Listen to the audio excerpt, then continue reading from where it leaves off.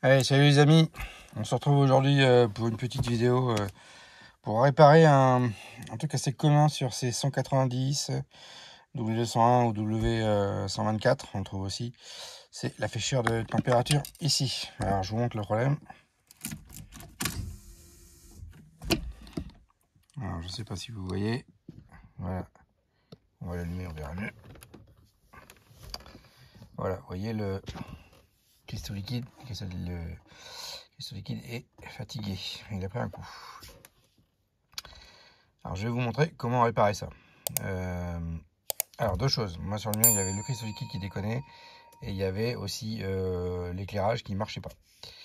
Donc euh, on va le démonter et on va, je vais vous montrer les deux choses à faire pour réparer ça. Pour le démonter, première chose, on va démonter le compteur. Donc là il est déjà pré, pré démonté. Hein. Euh, je l'avais déjà euh, pas complètement remis. Euh, pour le sortir complètement, alors s'il n'est pas du tout sorti, vous devez démonter en dessous ici la partie. je vais chercher de la lumière. Vous devez démonter ici. Vous devez démonter ici le cache forcément. Il y a ce tuyau là, que moi j'ai poussé, qui passe tout le long normalement, qui va jusque là, qui va vous gêner. Faut passer la main derrière pour aller euh, dévisser euh, le, le, câble du compteur de vitesse qui se trouve au-dessus. Et ensuite, vous pourrez pousser le compteur.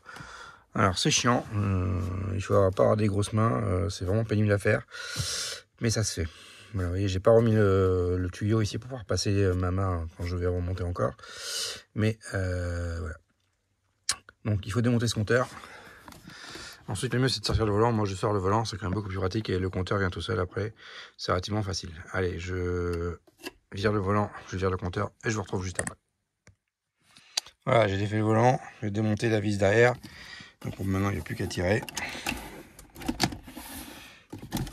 Alors, il existe des crochets pour aller tirer derrière, je les aime pas. Généralement, vous arrachez tout. Moi, je préfère passer la main et pousser, c'est plus pénible, mais au moins, vous cassez rien. Ensuite, vous avez voilà des, euh, prises à défaire derrière, on va les enlever. Voilà. Les prises sont défaites. Voilà la vis dont je vous parlais. C'est un est ici. Et donc c'est le câble du compteur de vitesse qui vient tourner et qui vient donner l'indication de vitesse au compteur. Voilà pour l'affichage casse liquide, vous avez euh, deux câbles ici qui se. Un ici et un ici. Donc c'est simple, vous avez, euh, j'ai bien un moment à comprendre parce que une petite mais vous avez un euh, deux pôles ici qui vient en fait de la sonde de température directement sous le pas, sous le qui se situe au niveau du pare-choc avant, et vous avez ici un trois pôles, vous avez une masse, une alimentation et un pour les phares. Sauf que euh, quand vous branchez ça là juste, en fait le capteur ne s'allume pas. Le capteur ne s'allume que s'il détecte la sonde de température. Si la sonde de température est débranchée, le capteur finit par s'éteindre. J'ai découvert ça en branchant la sonde de température. Ça fonctionne, dès que vous la débranchez, la température tombe et ça s'éteint. Je vais vous montrer. Vous voyez, j'ai le contact. Ça fonctionne, ça indique 20 degrés. On va débrancher la sonde de température. Ici. Voilà, elle est débranchée, vous voyez, la température chute il détecte plus la sonde.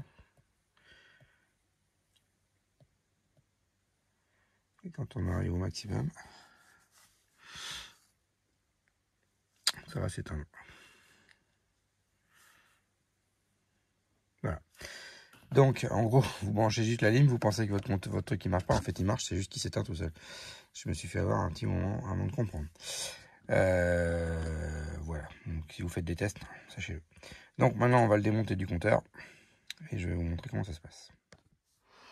Ah, voilà votre compteur. Ce qu'on va retirer, c'est ça. Et donc, il vient par l'avant, en fait. Donc, on retourne le compteur. Vous avez deux vis ici à démonter.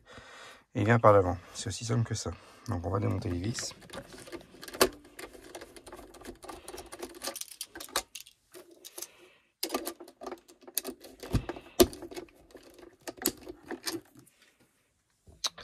Voilà. Et ensuite, tu fais le pousser, il vient par devant. Alors, tant que j'y suis, je vous montrer un peu le compteur. Donc ici, vous avez la partie centrale. Tout est en trois parties, ça peut se démonter. Si vous voulez changer vos ampoules, tout, se passe ici. Euh, ici, c'est la partie contour, etc. Euh, ici, c'est la partie... non, je dis des bêtises. ici, c'est la partie avec les, tous les affichages, excusez-moi.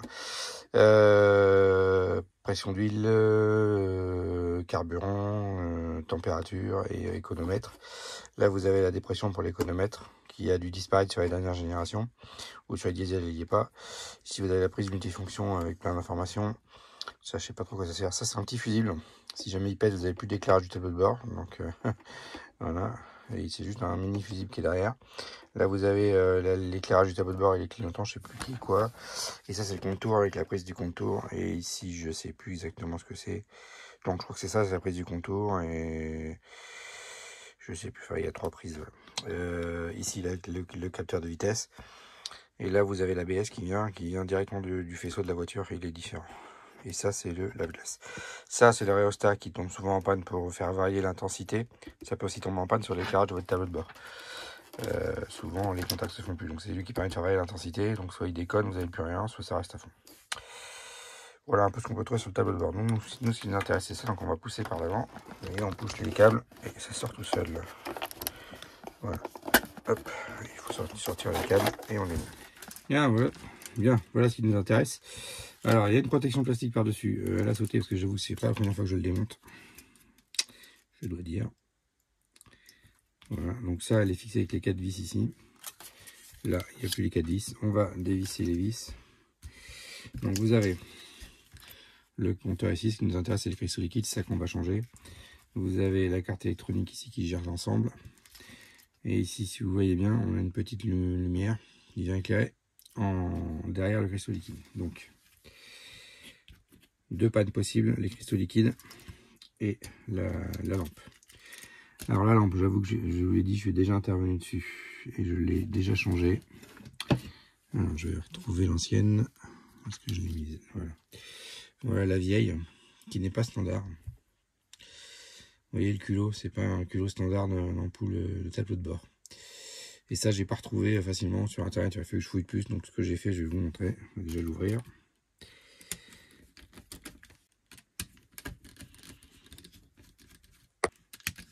Vous avez quatre vis, rien de compliqué.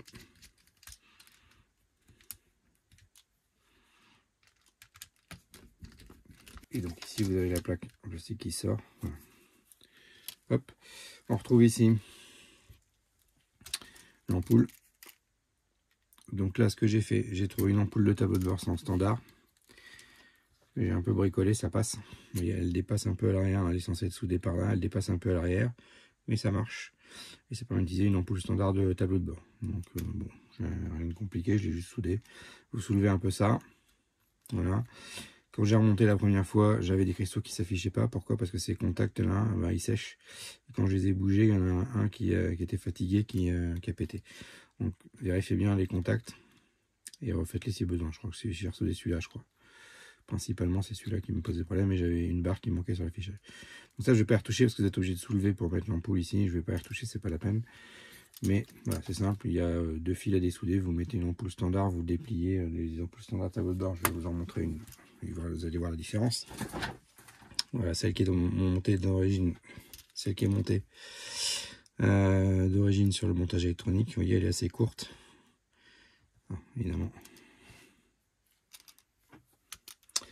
Elle est assez courte, alors que l'autre est beaucoup plus longue. Il y a une partie métallique beaucoup plus longue, parce qu'elle vient s'insérer dans des culots.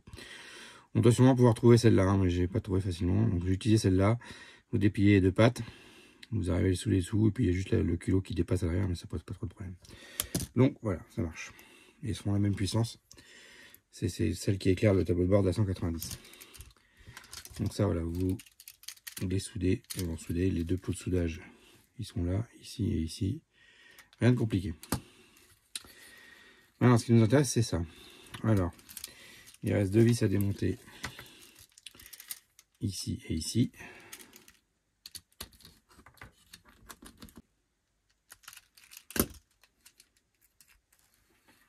Donc, il nous reste deux vis à dessouder. Et voilà, vous retirez la plaque électronique. C'est très simple. vous voyez les nappes ici sont reliées ça ici qui va faire contact sur les cristaux liquides. Et voilà les cristaux liquides en question. Donc c'est ça qu'on va changer. Alors ça, je suis jamais encore intervenu dessus. C'est la première fois. Et je vais vous montrer ce que j'ai acheté pour les remplacer. On trouve des kits de remplacement. Je vais vous montrer ça tout de suite. Alors voilà le kit de remplacement que j'ai acheté. J'ai acheté ça ici, partout. Je vous mettrai le lien directement. Alors il y a des 10 pôles et des 6 pôles. On va voir ce qu'ils nous racontent. J'ai pas honnêtement pas regardé la doc encore. Euh, là, j'avais vérifié sur leur c'était bien un dipôle. Donc j'ai pris un dipôle. Sur leur site, il y a des 10 et des 6. Donc c'est assez délicat, je pense. Il faut faire attention.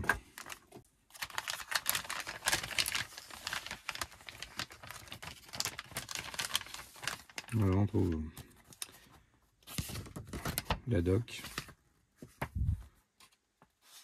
En allemand, super. Et en anglais, bon, ça va on trouve une lingette de nettoyage pour lunettes. Ok, super. Et on trouve ce qui nous intéresse.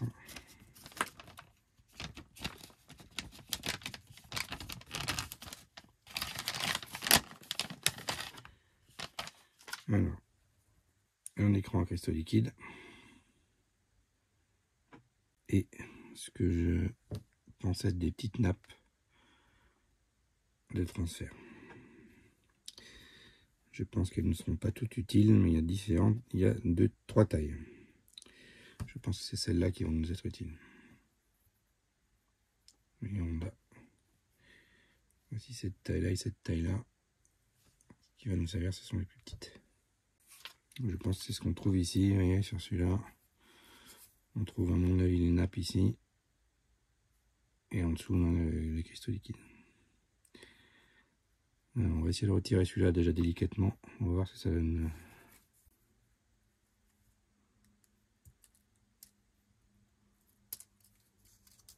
Bon, bah, je m'aperçois pendant le montage de cette vidéo que euh, j'ai oublié de remonter un truc. Vous voyez le petit, euh, le petit bidule ici, là, la petite plaque blanche. On la voit juste là. Voilà. Ça revient un peu en arrière ça ici qui vient sur l'écran, bah, je m'aperçois que j'ai oublié de le remonter. Et je comprends mieux pourquoi mon éclairage est trop fort, vous verrez à la fin, j'en parle. Je viens de comprendre en faisant le montage, j'ai oublié de remonter ça, donc du coup l'ampoule éclaire trop fort le tableau de bord. Donc je suis bon pour redémonter, alors je l'ai euh, retrouvé, heureusement je ne l'ai pas jeté. Je l'ai retrouvé, donc euh, bah, il me reste à redémonter et remonter ça pour régler le problème d'éclairage. ça n'empêche rien de fonctionner. Mais effectivement, c'est embêtant. Allez, je reprends le cours de la vidéo.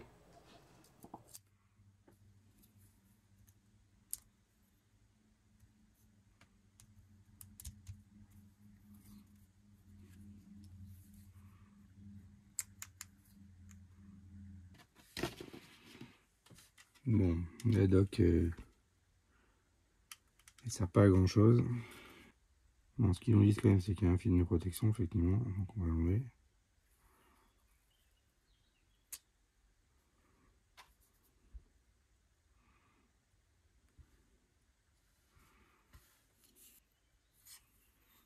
Au moins, ça montre le sens.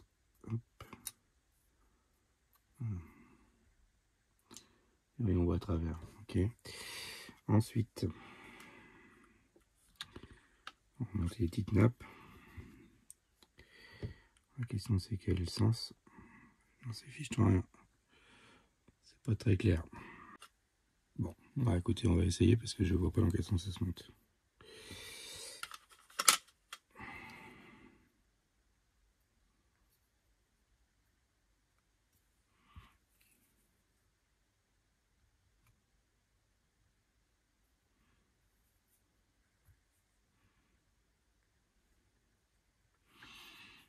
Une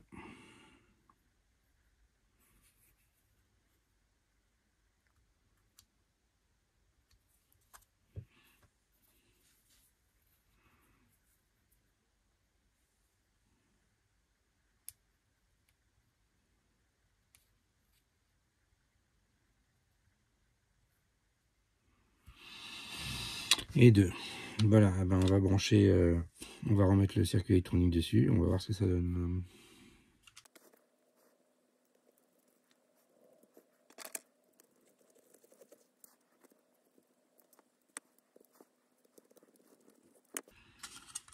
Voilà, tout est en place. On va aller essayer sur la voiture. Voilà, c'est branché comme je vous dis sur la voiture, il faut la, la sonde de température et l'alimentation. On met le contact et on va voir ce ça.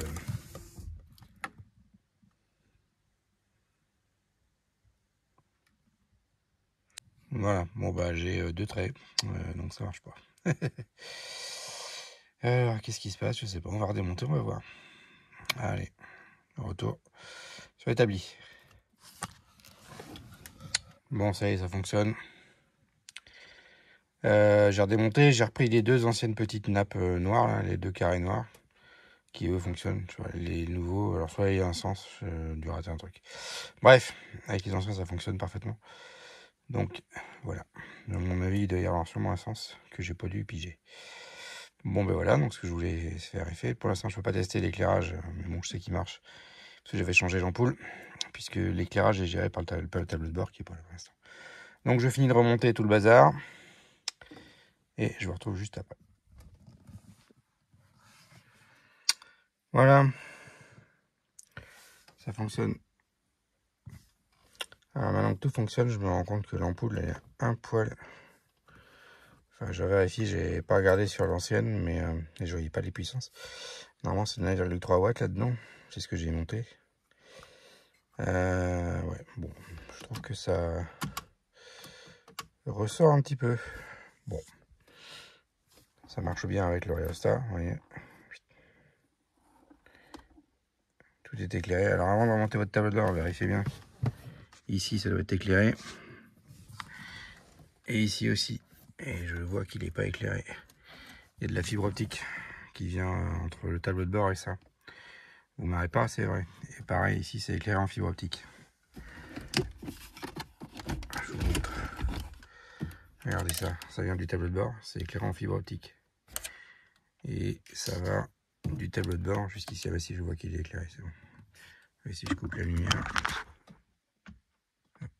Et là, il s'allume. Et regardez la fibre optique. Le tableau de bord des 190 W200 est en fibre optique, mes amis. Je vous l'annonce. C'est incroyable. Non, sans rigoler, vous avez les ampoules qui sont euh, dans le tableau de bord. Vous avez deux sorties de chaque côté. Ici, qui permettent d'alimenter en fibre optique les petits interrupteurs ici. En option, vous pouvez en avoir jusqu'à trois ici. Deux sorties ici, deux sorties ici. Et dont une qui alimente celui-là. Voilà. Donc les oubliez pas, sinon il vous manque des petites lumières. c'est pas gênant, mais quand vous avez tout remonté, c'est chiant de devoir tout redémonter juste pour une connerie pareille. Et je sais pas pourquoi elle est équipée d'une deuxième sortie, la mienne. Je sais pas ce qu'elle s'est alimenté. Je me demande. Mais bon, voilà. Donc vérifiez bien que tout fonctionne. Pareil, vous avez la dépression à brancher dessous. N'oubliez pas, sinon vous êtes obligé de tout redémonter. C'est un enfer. Il me restera à aller fixer la partie euh, du compteur de vitesse. Voilà. Donc pour réparer l'affichage de la température ici. Maintenant ça fonctionne, on voit qu'il fait 20,5 degrés dans mon garage. C'est impeccable. Allez, je vous dis à ciao, bonsoir.